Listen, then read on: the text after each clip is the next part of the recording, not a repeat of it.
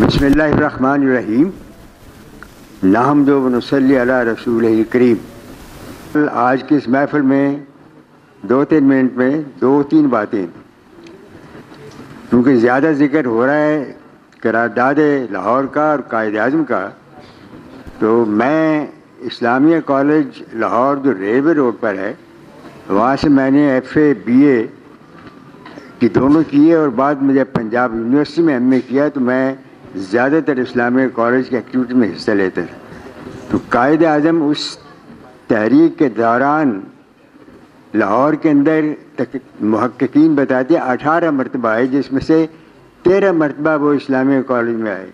तो नतीजा ये है कि वो जब आते थे तो हम समझते थे कि हमारा अपना बाप, हमारा अपना घर का फ़र्द आ गया है, वो लड़कों से बड़ा घूम फिर कर बातें करते थे।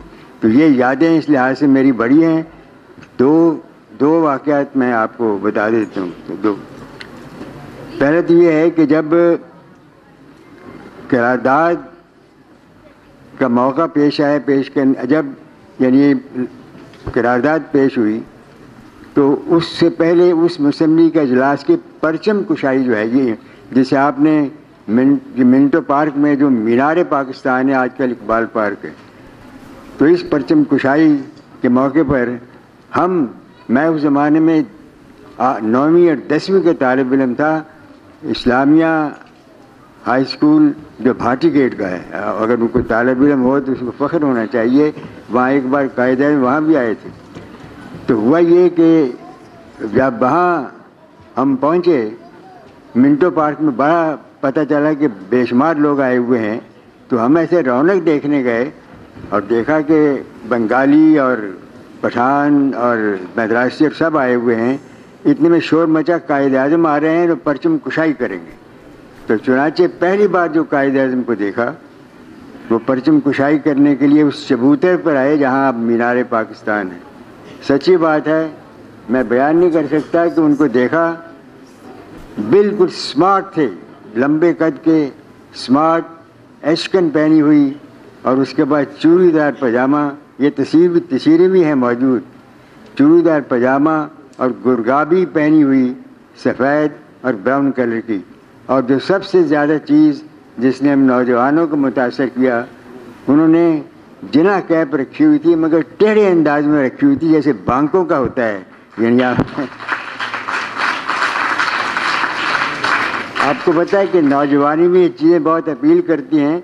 तो ये जनाब, हम मबहूत रह गए, वो कायदा में वहाँ को दस बारह मिनट बोले, जो सारी पब्लिक थी वो यही देखती रही कि ये लीडर, यानी जिसके बारे में इतनी बातें सुनी है, इंतहाई खुशपोश है।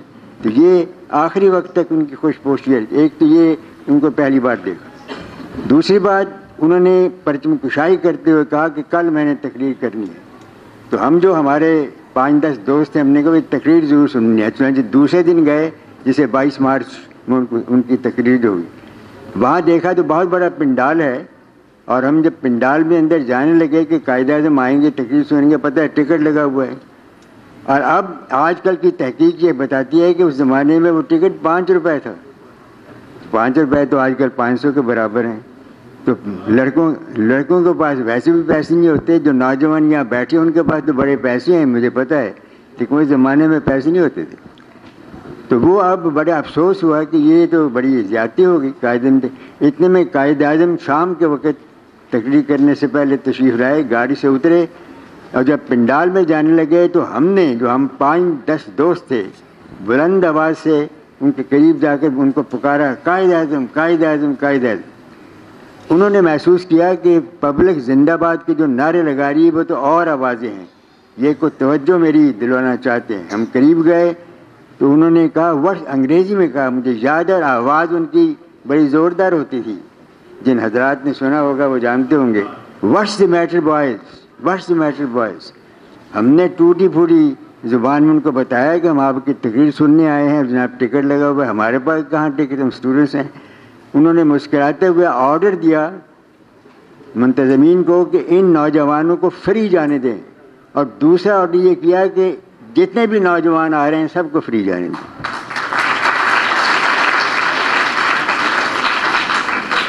एक मरतबा ये तो दो वाक़ और भी बहुत से मामला में अक्सर वो इस्लामिया कॉलेज के, मैं इसलिए अर्ज़ कर रहा हूँ कि क्योंकि आज करारदाद के हवाले से बहुत सी बातें हम, वो भी कर रहे हैं जो मुतालबात की और सियासी तौर पर, लेकिन कायद अजम की शख्सियत के बारे में। इस्लामिया कॉलेज में कई मरतबा वो ग्राउंड में जाकर बैठ जाते थे अपनी पैंट और कोट के साथ। कुछ तस्वीर मौजूद हैं, यहाँ भी मौजूद हैं उस ज़माने। लड़के उनके इर्द गिर्द होते थे और उनके साथ बेशुमार मामला पर बातें होती थी और बड़े ज़ोरदार अंदाज में अपना पॉइंट ऑफ़ व्यू पेश करते थे। इतफाक़ से एक आध तस्वीर में बहुत पीछे हूँ, लेकिन उसे मैं ही पहचान सकता हूँ। तो ये कायद अजम का अंदाज था। और आखिरी बार फिर कायद अजम से जो यानी वास्ता पड़ा, वो 1946 में। वो वहाँ जलसा तकसीम असनात मैंने बीए में चंद मजामी में फ़र्स्ट डिवीज़न हासिल की थी। नतीजा उसके फ़र्स्ट क्लास। नतीजा ये है कि वो हम इनामत लेने के लिए गोया कि वो इस्लामिया कॉलेज में जलसा तकसीम असनात हुआ। तो उस जलसे वो एक स्टेज सी बनी हुई थी, और स्टेज पर एक सीढ़ी थी, लकड़ी की, उस पर चढ़ के जाना पड़ता था। दो तीन उसके तो अक्सर बेश बड़ी कमज़ोर सी थी, अक्सर बेश मोटे ताजे लड़के जो ऊपर चढ़ते थे, गिर पड़ते थे। मैं उस ज़माने में ज़्यादा वज़न वाला था। तो मैं चढ़ते हुए तकरीबन गिर पड़ा, बाकी तो तो कायदा की आवाज़ बड़े ज़ोरदार सी और चंद अखबारों में शायद भी हुई कि nobody is going to lift you up get up young man कोई तुम्हें नहीं उठाएगा। उठो, नौजवान, उठो। ये उनका जनाब मैसेज था। आप अंदाज़ा करें किसके लिए ज़ोरदार मैसेज था। और उसके बाद फिर जो यानी बहुत से और वाक़ात हैं तो ये बात तो मैंने चंद एक बातें बता दी। उन, उनके साथ हमेशा उनकी उनकी आमद से बिजलियाँ भर जाती थी हमें। मैं आपको बता दूँ, सच्ची बात, बिल्कुल बिजलियाँ। अब सिर्फ़ दो बात, एक बात करूँगा, आप जाने से पहले ज़रा इस चीज़ को याद करें कि करारदाद जिसके बारे में आज हम ये सेशन कर रहे हैं, ये करारदाद जब पेश की गई, उससे पहले सूरत हाल ये थी और इसको जनाब आप, आपको पढ़ना चाहिए। जो अंग्रेज़ों की हुकूमत आई थी, तकरीबन सौ साल पहले उसने मुसलमानों को तबाह कर दिया था। जब करारदाद लाहौर पेश हुई उससे पहले मुसलमान तालीम में पीछे, इनकम में पीछे, मुलाजमतों की बजाय उनके यहाँ बहुत बुरी किस्म की उनके साथ सलूक किया जाता है। मुसलमान इंतहाई गोया के बुरी हालत में थे। तो ये करारदाद ऐसे नहीं पेश की गई। उस करारदाद की बैकग्राउंड में इस चीज़ ने मुसलमानों के अंदर जोश पैदा किया और हज़रत कायद आज़म इस मामले में बड़े आगे बढ़े और हुआ ये कि उस करारदाद से पहले कांग्रेस जो है, जिसे इंडियन नेशनल कांग्रेस कहते हैं और कायद अजम उसे हिंदू कांग्रेस कहा करते थे, बिल्कुल ठीक है। आजकल भी ये सूरत हाल वो जनाब हुआ ये कि वो जो, यानी हिंदुओं ने वहाँ जब कांग्रेस की वजारत फोर्टी में हुआ ना रेजोल्यूशन पास 1937-38 में 38-39 में कांग्रेस ने वजारतें बनाई थी। अंग्रेज़, अंग्रेज़ों पर दबाव डालकर आप यकीन करें, ये कोई अफसाना नहीं है। ये पाँच सूबों में वजारतें बनी, उन्होंने वहाँ हिंदुज़म नाफज कर दिया, हल्के अंग्रेज़ की हुकूमत थी मुसलमान बच्चे सुबह जाकर बुतों की आगे जनाब सजदा करें या उनकी तारीफ़ करें। या वहाँ मुसलमान हिंदुआना किस्म का लिबास पहने, हिंदुआना अंदाज के खान, यानी उन्होंने इस अंदाज से तूफ़ान मचाया कि मुसलमान बड़े घबराए और बहुत इस मामले में हुआ ये कि जंग ज़्यादा तेज़ हो रही थी, हिटलर ने अंग्रेज़ों को तकरीबन तबाही किया हुआ था। तो ये पता चल रहा था कि अंग्रेज़ जाने वाले हैं। तो कांग्रेस ने वजारतों से इस्तीफ़ा दे दी, ज़ोर डालने के लिए कि अंग्रेज़ हमारे हवाले करें, वरना हम जा रहे हैं, हम तुम्हें तंग करेंगे। इसके जाने का जो कायद अजम बड़े ज़बरदस्त सियासतदान थे, उन्होंने फ़ौर एक बार बड़ा मशहूर दिन बनाया उसे योम निजात योम निजात सारे हिंदुस्तान में इतना मनाया गया कि उसकी वजह से पहली बार मुसलमानों के दिल में यह ख्याल पैदा हुआ कि ये एक लानत थी जो दूर हुई है और तहरीक पाकिस्तान आके चली। तो करारदाद के हवाले से ये याद रखें, हालात इतने बुरे थे, आज को अल्लाह ताला का फजल करम है, आज़ाद हैं। सी पैक का हवाले से हम आसमानों पर उड़ रहे हैं और इस बात का इम्कान है इन पाकिस्तान बड़ी तरक्की करेगा।